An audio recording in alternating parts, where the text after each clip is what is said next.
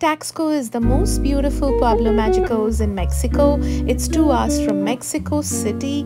Look at the beautiful cobblestones and the view of the Santa Prisca. Visit the Christ. It's a smaller version of what you find in Rio de Janeiro. Taxco is the silver capital of Mexico, so do visit their mines and shop their silver. Go in the VW Beetle, soak in the views, the stunning views eat their local food, walk the city, and the churros. Do not miss their churros. It's one of the best that I've had.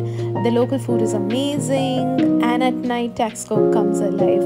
All details on my blog. Do check it out.